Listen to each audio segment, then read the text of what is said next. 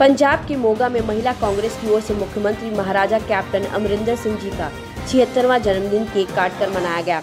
इस मौके पर महिलाओं का कहना था कि कैप्टन साहब के चलते 60 प्रतिशत नशेबंदी हो चुकी है। पंजाब पुलिस भी घर घर जाकर लोगों को नशे के खिलाफ अवेयरनेस कर रही है। कैप्टन की सरकार को आए एक साल हो चुके हैं। उन्होंने जो भी वायदे किए थे, वो सारे वायदे धीरे धीरे पूरे हो रहे हैं।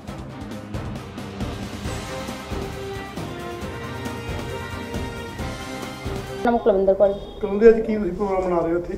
ਸਾਡੇ ਬਹੁਤ ਹੀ ਸਤਿਕਾਰਯੋਗ ਅ, ਕੈਪਟਨ ਅਮਰਿੰਦਰ ਸਿੰਘ ਜੀ ਜਿਨ੍ਹਾਂ ਦਾ ਅੱਜ 76ਵਾਂ ਜਨਮ ਦਿਨ ਆ। ਅਸੀਂ ਉਹਨਾਂ ਨੂੰ ਉਹਨਾਂ ਦੇ ਜਨਮ ਦਿਨ ਨੂੰ ਅੱਜ ਮਨਾ ਰਹੇ ਹਾਂ। ਔਰ ਨਾਲ ਹੀ ਸਾਡੇ ਡਾਕਟਰ ਹਰਜੋਤ ਕਮਲ ਜੀ ਐਮਐਲਏ ਜਿਨ੍ਹਾਂ ਦਾ ਅੱਜ 1 ਸਾਲ ਪੂਰਾ ਹੋ ਗਿਆ ਐਮਐਲਏ ਬਣ ਤੇ। ਬਹੁਤ ਬਹੁਤ ਵਧਾਈ ਦਿੰਨੇ ਆ ਤੇ ਜਿੰਨੇ ਵੀ ਉਹਨਾਂ ਨੇ ਕੰਮ ਕੀਤੇ ਅਸੀਂ ਉਹਨਾਂ ਤੋਂ ਬਹੁਤ ਜ਼ਿਆਦਾ ਖੁਸ਼ ਹਾਂ। ਸਾਨੂੰ ਆਸ ਆ ਵੀ ਇਸ ਤੋਂ ਵੀ ਜ਼ਿਆਦਾ ਬਹੁਤ ਜ਼ਿਆਦਾ ਵਧੀਆ 4 ਸਾਲਾਂ 'ਚ ਸਾਡੇ ਬਹੁਤ ਜ਼ਿਆਦਾ ਜ਼ਿਲ੍ਹੇ ਦੀ ਡਿਵੈਲਪਮੈਂਟ ਡਿਵੈਲਪਮੈਂਟ ਕੀ ਨਾਮ ਤੁਹਾਡਾ? ਮੇਰਾ ਨਾਮ ਇੰਦਰਜੀਤ ਕੌਰ ਹੈ ਜੀ। ਅੱਜ ਕੀ ਪ੍ਰੋਗਰਾਮ ਕਰ ਰਹੇ ਹੋ ਅੱਜ ਅਸੀਂ ਕੈਪਟਨ ਸਾਹਿਬ ਦਾ 76ਵਾਂ ਜਨਮ ਦਿਨ ਮਨਾ ਰਹੇ ਹਾਂ ਤੇ ਮੈਂ ਮਹਿਲਾ ਕਾਂਗਰਸ ਹੋਣ ਦੇ ਨਾਤੇ ਸੈਲੀਬ੍ਰੇਸ਼ਨ ਕਰ ਰਹੀ ਹਾਂ। ਅੱਜ ਨਾਲੇ ਸਾਡੇ ਹਰਜੋਤ ਕਮਲ ਜੀ ਵਿਧਾਇਕ ਜਦੋਂ ਦੇ ਬਣੇ ਨੇ 1 ਸਾਲ ਉਹਨਾਂ ਨੂੰ ਪੂਰਾ ਹੋ ਗਿਆ।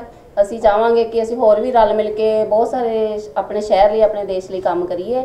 ਤੇ ਅਸੀਂ ਬੜੇ ਖੁਸ਼ ਹਾਂ ਕਿ ਸਾਡੇ ਕੈਪਟਨ ਸਾਹਿਬ ਨੇ ਬਹੁਤ ਸਾਰੇ ਪ੍ਰੋਗਰਾਮ ਚਾਲੂ ਕੀਤੇ ਨੇ, ਜਿਵੇਂ ਨਸ਼ੇ ਬਾਰੇ, ਨਸ਼ਿਆਂ ਨੂੰ ਠੱਲ ਪਾਉਣ ਵਾਸਤੇ ਘਰ ਘਰ ਜਾ ਕੇ ਪੁਲਿਸ ਵੀ ਬਹੁਤ ਸਾਰੇ ਕੰਮ ਕਰ ਰਹੀ ਹੈ ਤੇ ਅਸੀਂ ਬਹੁਤ ਖੁਸ਼ ਹਾਂ ਕਿ ਸਾਡੇ ਹਰਜੋਤ ਕਮਲ ਜੀ ਨੇ ਵੀ ਬੜੇ ਸਾਰੇ ਕੰਮ ਕੀਤੇ ਨੇ ਤੇ ਕੈਪਟਨ ਸਾਹਿਬ ਵੀ ਬਹੁਤ ਸਾਰੀਆਂ ਕਾਰਜਕਾਰੀਆਂ ਆਪਣੀਆਂ ਦਿਖਾ ਰਹੇ